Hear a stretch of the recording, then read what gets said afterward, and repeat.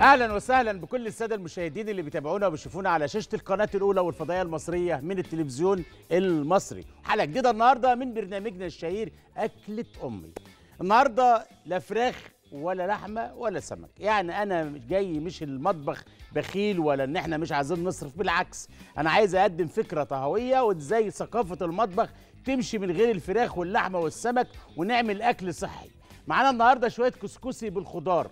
معانا القرع العسلي وإحنا ماشيين على الطريق الصحراوي بشوف القرع العسلي اشكاله وألوان الكبير والصغير ألوانه الجميلة اللي بتفتح النفس اللون البرتقاني. فأنا عايز النهارده نشوف ثقافة المطبخ مع إن القرع العسلي يخش مع الخضار زي البتنجان بطاطس كوسة جزر الروزماري الزعتر ونعمل طبق كسكسي بالخضار والقرع العسلي. هيبقى فيه بروتين حيواني. هيجي منين يا عم الشيف؟ من السمنة البلدي اللي هعمل بيها الكسكسي. شفتوا بقى إزاي؟ يعني هناكل فراخ ولحمة بطريقة غير مباشرة ونحصل على البروتين الحيواني اللي موجود في الكسكسي بالسمنة البلدي. نيجي النهارده المانجا جاي الموسم بتاعها وبشايرها جميلة. بصراحة شفتها مالية السوق وعند إخواننا بتوع الخضار المانجا أشكال وألوان. فنخلونا نعملها آيس كريم نعملها سموزي نعملها مخلل ندخلها في بعض الأكلات نعملها مع الدجاج. تعالوا شوفوا المانجا النهارده هنعملها آيس كريم إزاي؟ وأعلمك تعملي كل الفواكه آيس كريم وأنت قاعدة في البيت زي ما عملنا قبل كده البطيخ وعملنا الكيوي وعملنا الموز. معانا النهارده فواكه مشكلة من خير أرضنا البرقوق. أبو شكل حلو الموز التفاح الفواكه اللي موجودة عندك والأولاد مش عايزين ياكلوها. هتعيدي هيكلتها وتعمليها النهارده طرت طرت ده بطعم الليمون والفواكه المشكلة. أكيد هيكون طعمه مميز وله شكل وش... وطعم جديد مختلف. مش عايز أطول حضراتكم في المقدمة لأن أنا عندي شغل كتير للأمانة وبالذات النهارده الحلقة فيها شغل جامد جدا. من غير لا فراخ ولا لحمة ولا سمك ولكن خلونا نعمل مع بعض النهارده المطبخ بتاعنا بثقافة غذائية ويكون كمان قيمته الغذائية عالية جدا. هستاذن حضراتكم ناخد بعضنا ونطلع فاصل صغير وبعد الفاصل اوعى تروحوا بعيد. تابعوني.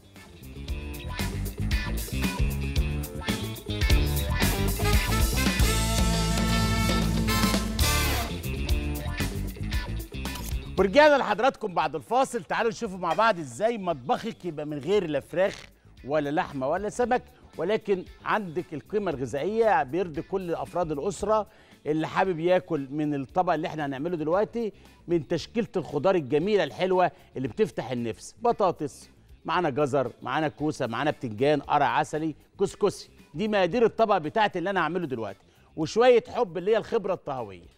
المقادير على الشاشة تصورها بالتليفون أو تكتبيها ورايا. كسكسي من ست طيبة بتبيعه في بعض الأماكن موجود معانا أهوت زي الفل. أو بنجيب الأكياس الجاهزة أو إنك تعمليه في البيت. عمايله في البيت سهلة جدا. دقيق وسمنة. دقيق وسمنة وتقدري إنك أنت تعمليه تفركيه على إيدك علشان كده سموه المبروم أو المفتول. دي المسميات بتاعته في بعض المحافظات وبعض الدول. المبروم أو المفتول في بلاد الشام. اللي هو الكسكسي. في منه جاهز وفي منه طبعا اللي بيتعمل جاهز زي كده الست الطيبة بتعمله وبيتباع جاهز مع الجبنة القريش ومع البيض والحاجات البلد اللطيفة. ومعانا تشكيلة من الخضار بتنجان كوسة بطاطس قرع عسلي ده ال ال ال البطل في الموضوع. معانا لومي معانا الزعفران الجميل معانا شوية زعتر شوية روزماري بصلتين حلوين فصين توم حلوين معلقة فلفلة حلوة. تعالوا نشوفوا نعمل طبق حلو إزاي. يفتح النفس ويفتح الشهية وشكله حلو على السفرة بتاعتنا. حلو الكلام؟ طيب. طاسه على النار شديدة الحرارة. وبصلايه حلوة كده عشان شخصية البصل تبان في قلب الطبق الكسكسي. ناخد البصلاية الحلوة دي بنحطها في الطاسة. شوف التركاية هنا بقى. مش هحط لا سمنة ولا ولا أي حاجة خالص. أنا عايز أدي لشوية الخضار طعم حلو قوي البصلاية كده بتتشوي. ركزي في الموضوع علشان الموضوع فيه خبرة طهويه النهارده. البصلاية هنا يا عم الشيف بتتشوي. آه. أنا عايز شوية مرق لهم طعم مميز. لما أحط البصل من غير لا سمنة ولا زيت ولا زبدة طعم المشوي للبصل حكاية في المرق. آه آه. وأسيبهم على النار كده مع تقليبة من غير لا سمنة ولا زيت ولا زبدة. لما بقول المطبخ رؤية وفن وإبداع مش من فراغ. خبرة السنين آه. البصلة لونها بيتغير آه. من غير أي لا سمنة ولا زيت ولا زبدة. شوية المرق دول هيبقى لهم طعم تاني خالص وإحنا مع بعض بنقلب اهو بس لازم تكون الطاسة شديدة الحرارة عشان البصل ما يتسلقش معايا. عايز آخد طعم المشوي آه. وأنا شغال كده آه.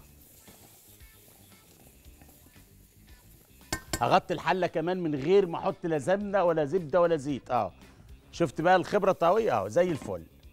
آخد شوية روزماري حلوين كده معايا. معايا زعتر حلو لطيف. لازم نهتم بشوية المرق لازم أسلق كوارع ولازم أجيب لحمة ضاني علشان آخد شوربة للكسكسي ولازم أجيب لحمة كندوز خالص. الطعم بين إيدك يا ست الكل. آه. من غير مكسبات طعم ولا أي حاجة خالص. البصلايه أخبارها إيه؟ زي الفل. نشيل الغطا ده كده ونقلب. شفت البصلة؟ آه. الله آه. فكت من بعضها إزاي؟ وادتني طعم المشوي وأنا شغال. آه. بصل الأحمر بالذات. آه. الله على الريحة الحلوة. أو ما أعمل إيه بقى؟ وأنا شغال زي ما أنا كده خدت لون خدت طعم حط معلقة سمنة بلدي حلوة كده من إيدك الحلوة زي الفل. آه. ونقلب. دي حكاية بقى هنا. آه. آه. الله على الريح هو ده. دي الخبرة. آه. شفت إزاي؟ هو ده. ده البصل اللي هيخلي للشوربة شخصية. آه. حلو. وهم بيتحمروا كده في السمنة البلدي. ننزل بالفليفر بتاعنا من الروزماري والزعتر. آه. أنا يا أخوانا بحمر بصلة. يعني أعتقد أنت تقول لي دلوقتي طول عمرنا بنحمر بصل بس بالطريقة دي ما حمرتش بصل قبل كده. آه.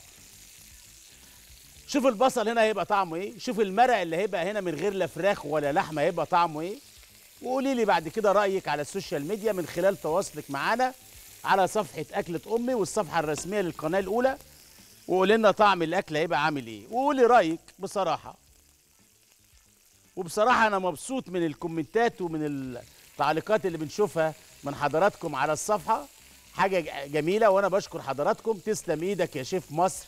تسلم إيدك يا شيف العالم تسلم إيدك يا جميل تسلم إيدك يا مغازي. كل ده أنا بيديني طاقة بيديني طاقة ايجابية علشان اقدم لكم دايما الجديد واشتغل معاكم بحب. كلمة طيبة بتخلينا يعني نفوت في الزلط زي ما بيقولوا يعني. آه. شفت البصل؟ مع الزعتر مع الروزماري. حلو قوي ننزل بالبطاطس بتاعتنا الجميلة. نبدأ بقى نغذيها خضار بطاطس أهيت. لا فراخ عنوان الحلقة لا فراخ ولا لحمة ولا سمك. آه. وهعمل لك مطبخ حكاية. معايا بتنجان؟ البتنجان ده هناخده كده سريعا. ناخد كل بتنجانية من دول نقطعها نصين. لازم شخصيته تبقى باينة. أهو الأسود والأبيض. زي ما هو كده. وعندنا كمان الأبيض ده اهو في الكسكسي دايما يبقى الخضار كبير بيتقطع بأحجام كبيرة بشكل طولي أو مكعبات كبيرة آه. عشان شخصيته تبان مع اللحمة أو مع الفراخ إذا أنت هتعمليه مع فراخ أو لحمة. ده البتنجان. معانا كوسة. حلو. أي خضار أنت حباه. الكوسه اللطيفه دي كده أهي. حلو. معانا جزر.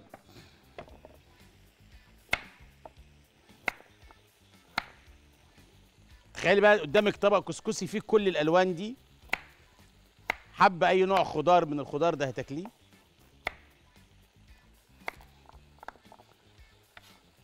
وفي نفس الوقت حاجة جديدة لأولادك.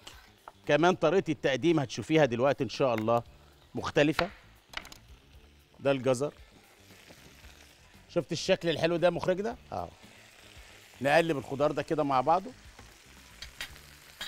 بسم الله الرحمن الرحيم. آه. لا أنا هنا أسست واللي بيأسس بيرتاح. اللي بيأسس إيه يا شباب؟ بيرتاح. بصلاية حمرتها من غير لا زيت ولا سمنة خدت لون نزلت بمعلقه سمنة بلدي حمرتها خدت الزعتر والروزماري والمرق جاهز زي الفل. آه. عنوان الحلقة بتاعتي لا فراخ ولا لحمة ولا سمك. القرع العسل الجميل الحلو اللي العالم بيحسدنا عليه في أرضنا الطيبة مصر للأمانة والله. وأنا مسافر على طريق الفيوم وطريق المنوفية وطريق كل محافظات مصر. بتلاقوا القرع العسل على الشمال وعلى اليمين. مش لاقي اللي ياخده اهو.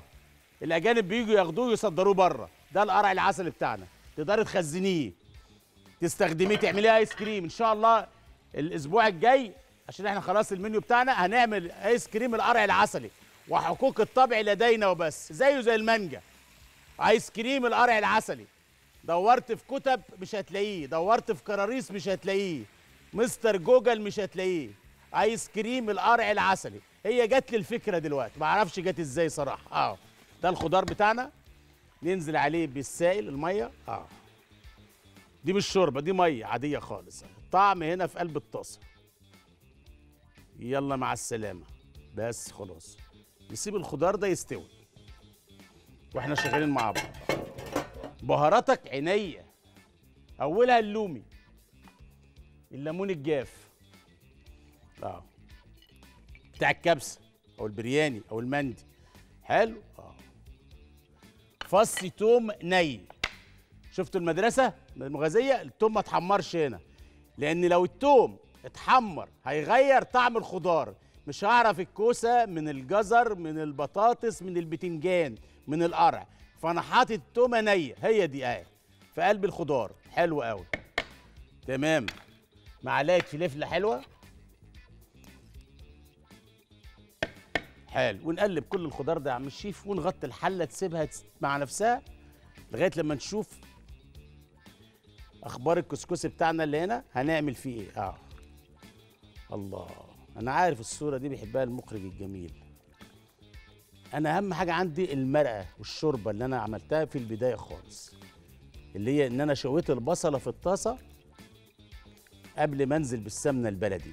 فعلت من الإيه؟ من طعم المرق والشوربة. آه زي الفل. نقف محطة هنا. تقدري تعملي طاجن خضار بالشكل ده كده لو شوية لسان عصفور في قلبها طاجن خضار بلسان العصفور. تقدري تعملي طاجن خضار بس كده باللحمة. تجيبي لحمة مستوية تحطيها أو فراخ مستوية وطاجن خضار باللحمة وهكذا. دي محطة. نغطي الحلقة دي ولا نسيبها؟ مخرجنا عايزها زي ما هي كده. نخليها زي ما هي مفيش أي مشكلة. بس نخليها على النار شديدة. نشوف الكسكس هنشتغل فيه إزاي. طاسة على النار. برضو هنا جنبها اهي زي الفل. نعلي النار كده. ونحط في الطاسة دي يا عم الشيف في ليفر حلو عشان نعمل شوية كسكسي حلوين. زي الفل تمام. وطي كده. تمام. الطاسة بتاعتنا دي كمان نحط هنا شوية سمنة بلدي. كسكس الكسكس ده كمان لازم نظبط له الطعم خلي بالك. آه. عندي مرق وعندي إيه؟ سمنة بلدي. آه. باخد السمنة دي كده بحطها بسيحها. وهي بتسيح بحط عليها شوية بهارات. من الحبهان. من البابريكا. على السمنة؟ آه. اهو شفت الجو ده كده اهو بألف الطعم. شوية فلفل أسود. حط هنا الأول كده شوية فلفل أسود حلوين. هنا كمان شوية فلفل أسود حلوين. على السمنه هنحط يا عم الشيف كمان شوية كمون. على السمنه عندنا زبدة. أهي. بنحطها برضو كده مع السمنه البلدي. الله. خلي هنعمل شوية كسكس حكاية. تقدري تاكليهم من غير خضار. زي الفل. وعندنا الكسرولة بتاعتنا. شيل ده من هنا. اللهم صل على النبي. ونجيب دي كده نحطها ونشوف هنعمل الكسكسي إزاي. اللي عايز يتعلم الكسكسي يعمله حلو أو حادق. ناخد كده. اللهم صل على النبي. أهو. شفت الجو ده كده أهو. زي الفل. أخبار السمن إيه؟ اهو ده. آه. ده مهم جدا. اللي أنا بعمله ده مهم جدا. آه. اللي في قلب الطاسة. وجبنا الخلاصة. آه. سمنة زبدة. آه. عليها توابل وعليها بهارات. شوية الملح. آه. حلو الكلام؟ آه. وندوبهم كده زي الفل. آه. وكمان معلقة صغيرة. بطرف المعلقة كده زعفرانة. يلا. شفت الجو ده كده؟ آه. ده على فين يا عم الشيف؟ يلا بينا. شوف الحلاوة هنا شوف الشياكة هنا. الله عليك مخرجنا. مبدع مبدع مبدع. آه الكسكس آه زي الفل يا عم الشيف. نقلب كده. هو ده. لغاية لما الكسكسي يشرب السمنة مع البهارات عندي شوربة على النار بتغلي. الشوربة اللي أنا عامل بيها الإيه؟ الخضار. شوية كسكسي حكاية. خدوا الطعم بتاع السمنة بتاع الزبدة بتاع البهارات اللون الحلو عينيا أهو. عندي شوربة على النار. باخد منها شوية. واخدة طعم الخضار أهي. ننزل بقى هنا كده. الله. كمان تشريبة؟ آه. الله. آه. ونكمر ال- الكسرولة دي أو البايركس ده كده. كمان يلا بينا. آه. زي الفل. والخضار عندنا جاهز. بيستوي على النار. الكسكسي هنا جاهز. شفت الحلاوة بتاعته؟ أهو. شرب شوية الخضار الحلوين شوية الشوربة بتاعت الخضار ونقلب كده.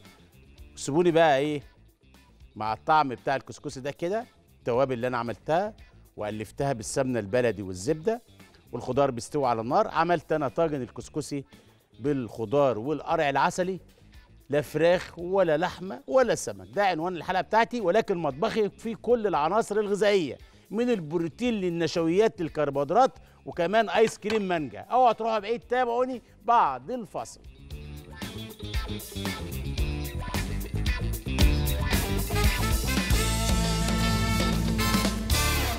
إيه رأيك؟ أنا عايزك تبص على الحلاوة دي. شوف الحلة فيها إيه.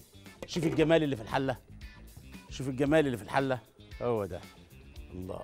إيه ده يا شيف إيه ده؟ والله لو سلقة ديك رومي ما هتشم الريحة دي. لو سلقة فخدة ضاني والله ما هتشم الريحة دي. أنتوا عارفين إيه السر؟ البصلاية اللي أنا شويتها في البداية. قبل ما أنزل بالسمنة البلدي عليها. كنز في الحلة دي. آه. الخضار ده. حلو. زي الفل. اقوم أعمل إيه بقى؟ من وقت للتاني أسرق شوية شوربة. السرقه هنا حلال. آه آه آه لأنها بتعمل نتيجة. وأحطهم على الكسكسي كده. آه وأنا شغال كده آه آه تاني. شفت أنت؟ ده ده دي المدرسة. تاني آه آه في سرقة حلال. أه أصل ده هدف لا هدف. آه بص بص آه آه آه آه على الكسكسي. يوم يشربهم كده وأنا شغال. آه حلو أهو. نكمل. طبعا بننزل بالكزبرة الخضراء أو الكرفس ده الطبيعي. الخضار يحب الكرفس يحب الكزبرة الخضراء التقليبه الحلوه دي كده. نغرف الخضار الجانبي للكسكسي. ممكن نغرفه في الطاجين بس خلينا نغرفه بشكل جديد النهارده. شكل البتنجان مع الكوسة لطيف وجميل. أهم حاجة الطعم اللي موجود وزي ما قلت لحضراتكم السر في البصلاية المشوية. نعم عينيا حاضر. حاضر يا غالي. عايز يشوف إيه اللي تحت الإيه؟ القالب ده. آه. بسم الله الرحمن الرحيم. افتح يا سمسم. اللهم صل على النبي. شفت الكسكسي؟ آه. زي ما هو والله ما هاجي جنبه. هو كده. كل القصة بس هعمل إيه كده؟ حاجة لطيفة اهيت الكوسه دي مع البتنجانة دي مع الجزراية دي. تحب أنت الحاجات دي؟ قرن الفلفل ده كده. طبق كده إيه؟ آه حلو. ده طاجن. شوية كسكسي بالخضار. عنوان الحلقة بتاعتي لغاية لما تخلص أقول لا فراخ ولا لحمة ولا سمك لا هو بخل ولا هو توفير. أنا بعلمك إزاي ثقافة المطبخ تخش المطبخ بتاعك تعملوا سفرة فيها أفكار وفيها طعم جديد وشكل جديد.